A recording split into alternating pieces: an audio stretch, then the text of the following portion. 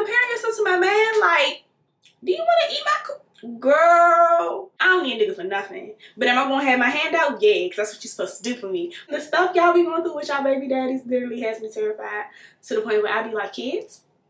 Uh, yeah, yeah, yeah, yeah. Oh, Hey y'all, welcome or welcome back. Make sure you like, comment, share, and subscribe before we even get into today's video because it's a juicy one, okay?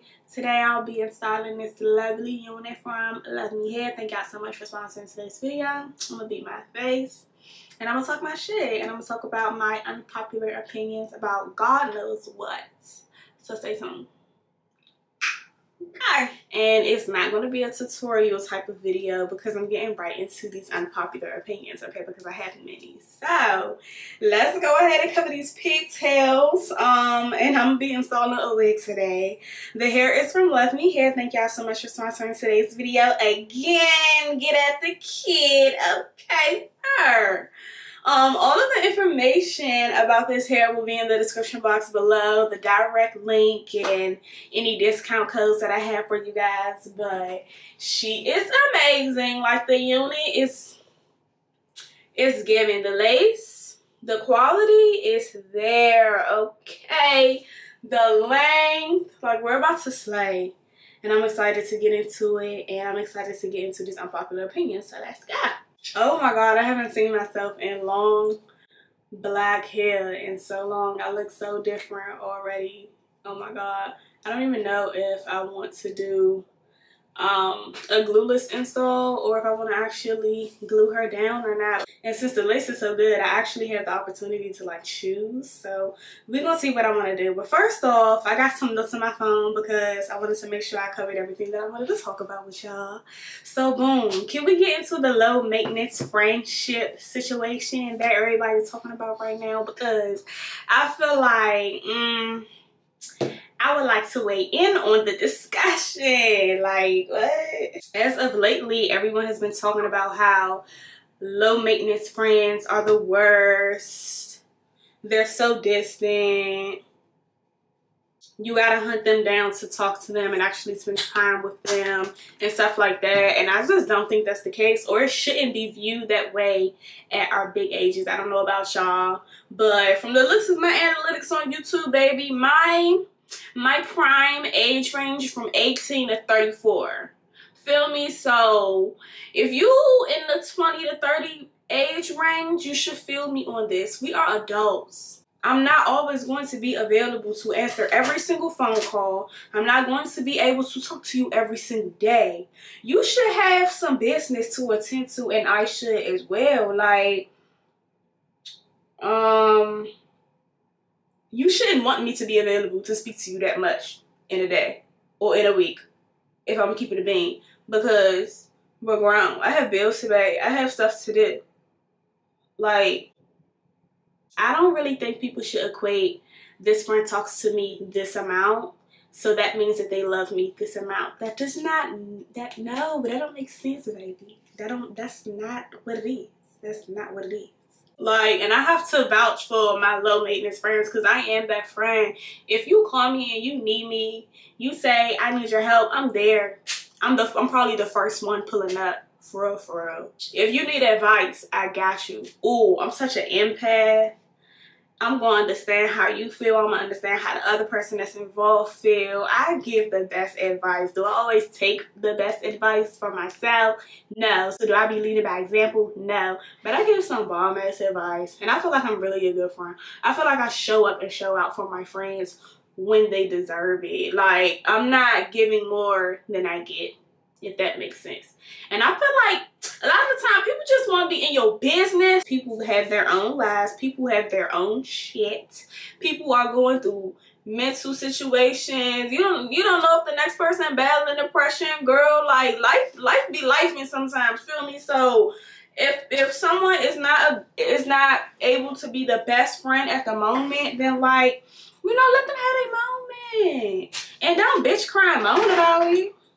I don't know, that's just me. And oh my God, the people, the people that will compare themselves to other really, really important people in your life, like, for example, your significant other or your family, they'll try to get on you like, ah.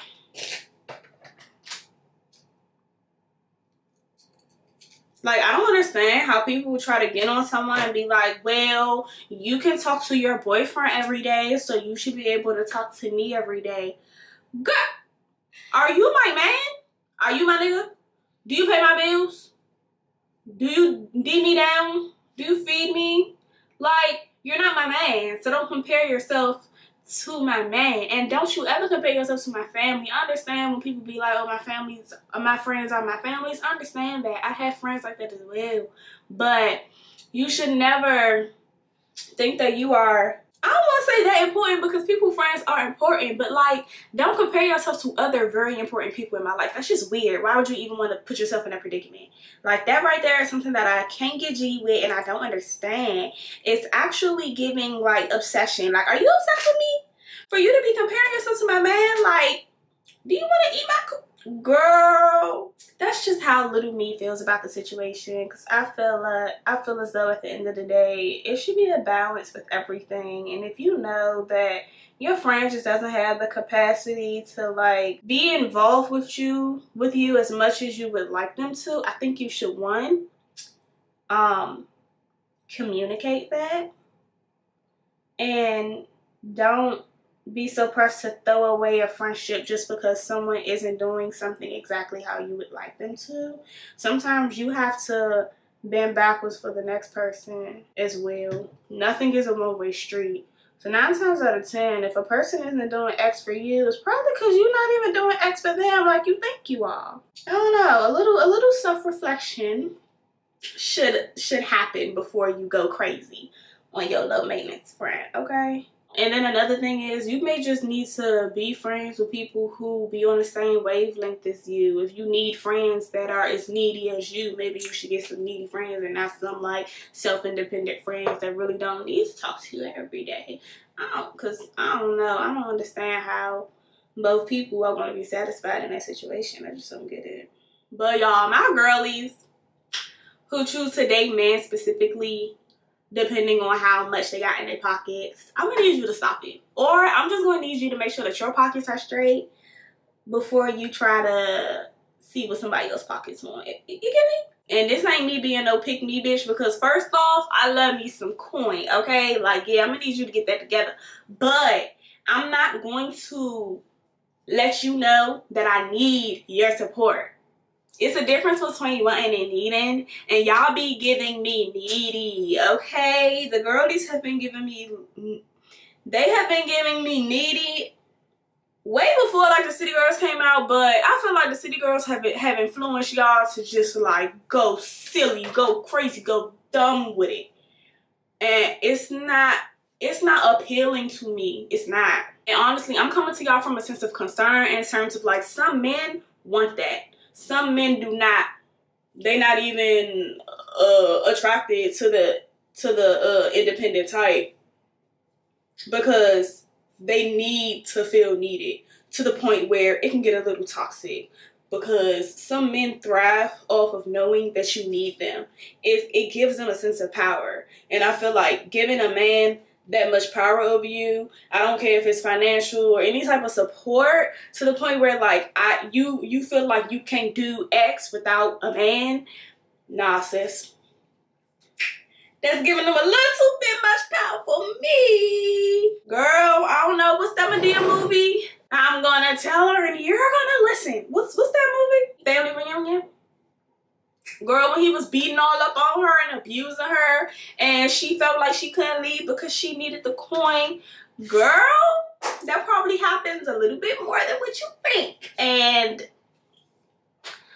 don't do it don't do it. In no way, shape, or form am I telling y'all to lower your standards. That's not what I'm saying. I'm just saying don't let a nigga know that you need them in any type of way. Make sure that you got yourself. Make sure that you are good financially, mentally, physically, emotionally, all that. Make sure you are good before you start needing somebody else. Like that's not cute to me. I don't I don't know.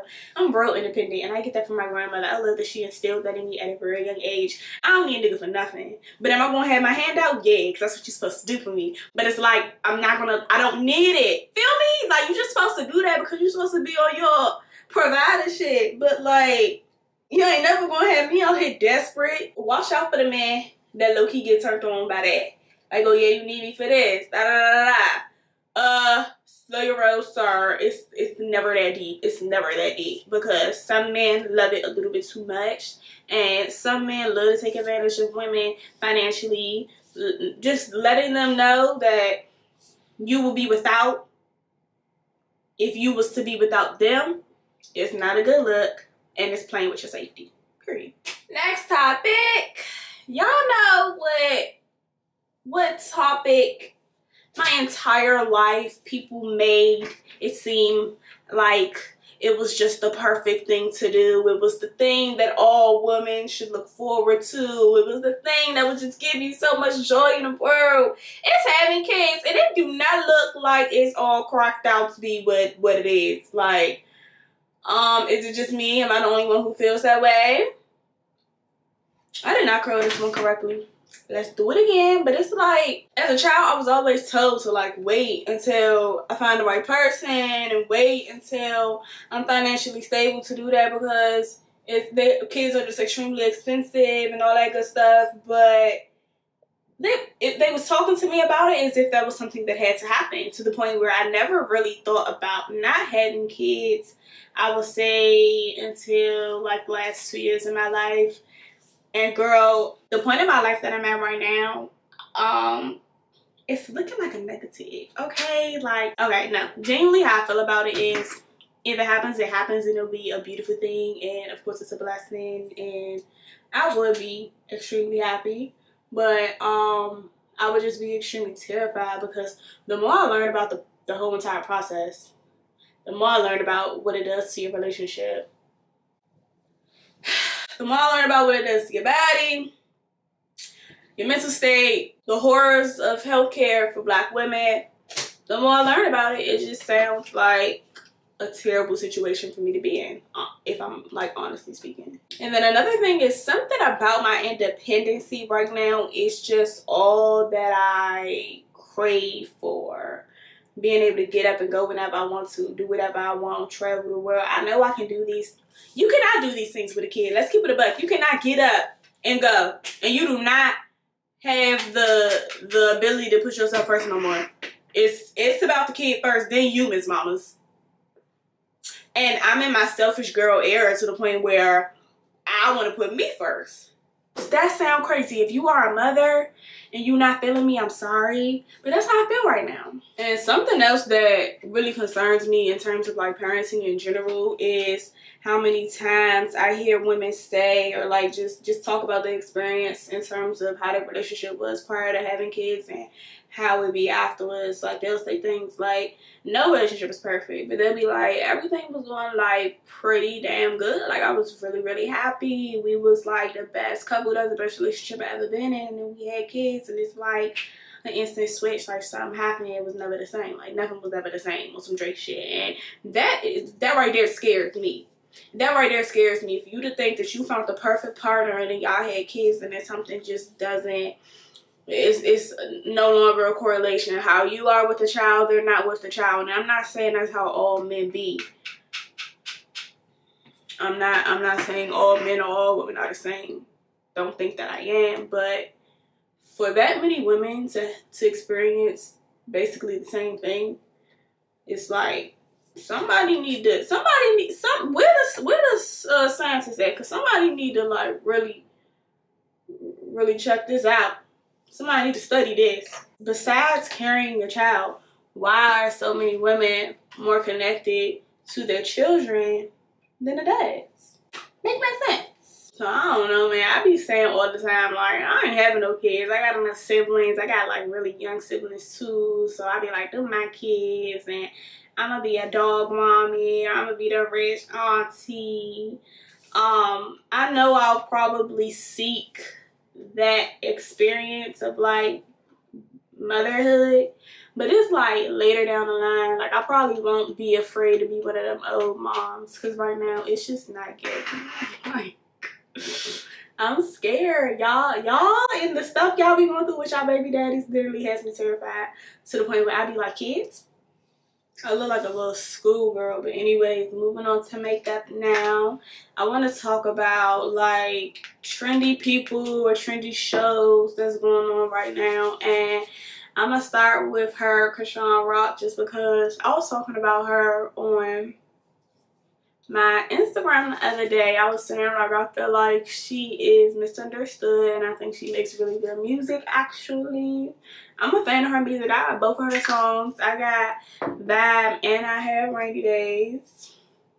I think Rainy Days came out first. And if y'all see the side of this wig, girl, don't mind. You know it's a closure. And the hair got to get out the way because I hate when my hair be in my face I'm trying to do my makeup, okay? First off, she putting on for Baltimore, period. Y'all know I'm from DC, so I got I gotta stand up for the DMV in general. But I think she's really talented. Um, I don't want to say she's more talented than Blueface because I don't even listen to anything. I never listened to any song that Blueface came out with besides Thotiana. So I can't really compare their um musical talent. But for one, let me say off rip, I don't condone anything she's going through in a relationship. Like her putting her hands on him, him putting his hands on her, pulling her hair, throwing her on the ground. Everything that they've been going through is crazy. I was watching one of her interviews the other day and it's obvious that she grew up around abuse. She said her mom was abused real bad. And usually like the environments that people grow up in, they think that that's, they know it's not okay, but some way, somehow, in a lot of cases, they end up finding themselves back in those same predicaments. And I just feel like it's an unfortunate cycle of life. And I feel like I wish more people would like really look at it as like, damn, this is a fucked up situation versus like laughing about what she goes through. Just because she goofy and she laughs about everything don't mean that like we should join and do the same thing. I don't know. I hope she I hope she make it out though and I hope she like really go crazy with this music stuff because like I said, she's really talented and she's very spiritual and I love that about her. And even though she goes through the craziest stuff, I feel like she has a really good heart and soul at the end of the day. I don't know, it's just how I feel about her. So oh, hold on. Before I get off of her and Blueface, lately a lot of people have been talking about his sexuality. And people were saying on TikTok like the only top two reasons why he would be going that crazy and that absurd. Cause like he had like knocked down the door and pulled out a piece of her hair and now she has a bald spot in the back. People laughing about that. I feel like that's the traumatic thing for somebody to go through. Like, that's not funny. But they were saying, like, the two reasons why he would go crazy is because either one, he's gay, he was talking to men in his phone, or two, he was talking to underage girls. Um, both are, first off, crazy, like, accusations to make about someone publicly. And then two, I don't think that's right. Like, I don't think that's okay. Like, I don't know what that man got going on. I really don't care. It, my opinion is not about that at all. My opinion is like on the fact that y'all really be saying outland outlandish things on the internet thinking that it's okay just to put your two cents in. Like, what if he is? I don't know if he is or isn't. But if he was, that man didn't come out yet. Like imagine someone not out yet and like the whole world's trying to out him. Like I just think that's crazy. If y'all have the same opinions as me or on any of these topics, like comment down below because I want to know what y'all thinking. I'm trying to see what we agree on and what we don't agree on. If I'm batshit crazy out of my mind, let me know. And if you agree what I've been saying, let me know because I want to know. So yeah, the other thing that I wanted to talk about was like the trendy shows that people are watching right now. Uh, Love Island, Bryant and Mama Bear watching that. I feel like more people are getting put onto it because I used to watch it and wasn't nobody really talking about it. But of course, UK is my fave. I haven't watched the um the US one, but I just be confused. Like when it comes to that show, I don't understand how these people aren't like falling off. Like I don't understand how these people aren't falling on their asses because of like the amount of alcohol they drink every day. Like are these people like taking care of their bodies on this show? Like like Like, what does it give me? Yeah, I be seeing them carrying around their little water bottles with their name on it. And yeah, like, the, some of the men, most of the men, not all of the men, like, work out here and there and stuff. But for the most part, what it appears to be, I know it's a TV show, so I don't know what's going on. But what it appears to be is y'all are sitting on y'all asses. All y'all do is eat breakfast. That's the only food I see them eat. And then snacks, barely, if that. And they love to drink their coffee and tea in the morning. And have a little brekkie. But it's like, y'all drink every single day. I know it'd be crazy alcohol, wine, and beer in them little cups. Y'all party every night. We as an audience never see them eat lunch or dinner. Not even fucking dessert. Unless they in a hideaway. like, are y'all insides okay? Like, do you not need to detox? Like, I know your urine is golden. Like, I don't know. I'm just, hey, don't shoot the messenger, but it just, that's just something that just never made sense to me. I don't know. I don't know. And it's like, I want to know how they don't get bulled up being around them same people every single day for X amount of time that they did. If you know how long they be there for, let me know in the comments down below because I don't know like the duration. Like if you stay on there from beginning to end, you make it all the way to the finale and stuff, and you was like one of the first people there. How you don't get sick and tired of the motherfuckers? Like how how we really haven't seen like a fist fight yet, like between the girls, between the guys. Like, do they sign a contract saying like you cannot physically harm the other person? Because as much as y'all be messing with each other, man, men's and girls and whatnot, I would have been slap somebody. Like, I don't know. I don't know. Couldn't be me. And like, do y'all really think they don't be having sex with one another? Like all that, all that fondling they be doing at night. And then y'all, how can y'all do that right next to somebody? I don't know.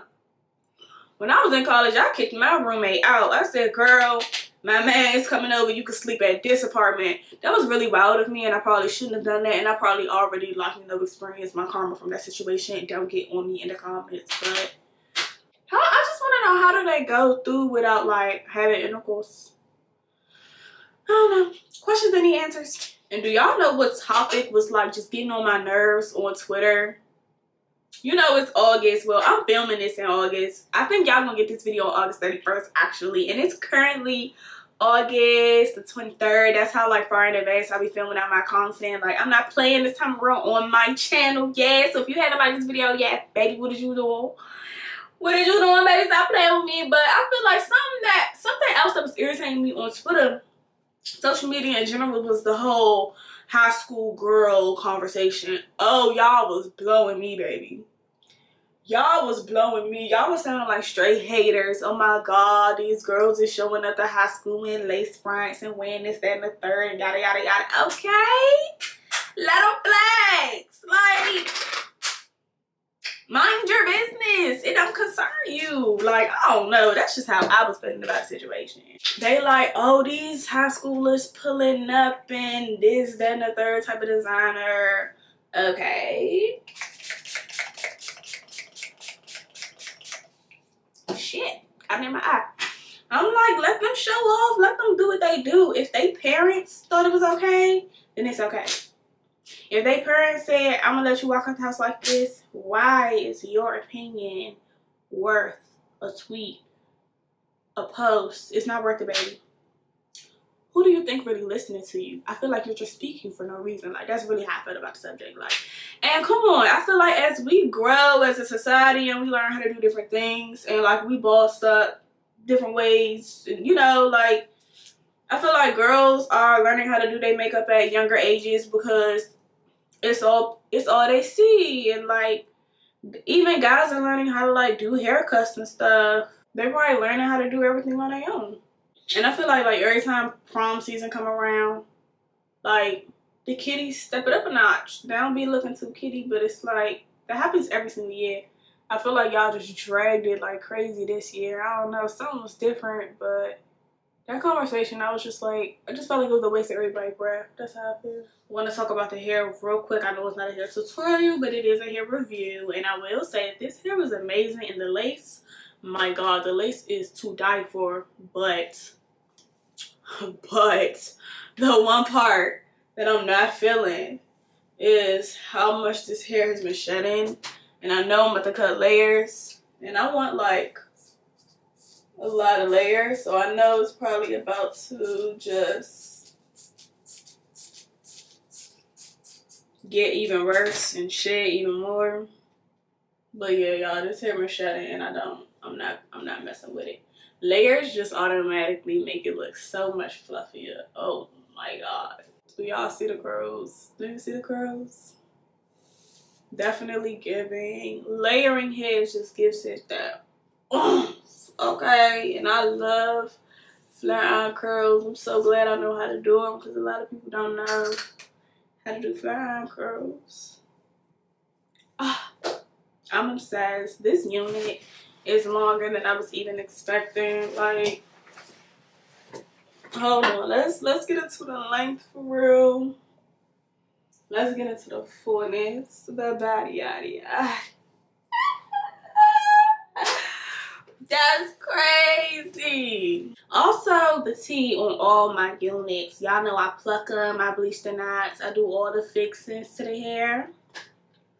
I'm the type of person that changes my hair up too much, so I'm always selling my wigs on Depop. So if you want my Depop, it's always in the description box below. If you scroll all the way down to like my like information about me, it's in there, girl. So hit me up because it's, on sale. By the time you see this, it's on my Depop. So run over this, sis. Run over there. But yeah, y'all, that wraps up this video. Again, Luvme here. thank you so much for sponsoring today's video. If you enjoyed this type of, you know, chit chat where I'm just talking my shit, talking about all my unpopular opinions. And make sure you like today's video so I understand that you enjoy the content. I'll be sure to film another one for you guys in the future. But yeah, I hope y'all enjoyed. Make sure you like, comment, share, and subscribe. And I'll see you in the next video. Bye, mamas. Yeah, yeah, yeah, yeah, yeah. Oh, oh, oh. Yeah, yeah.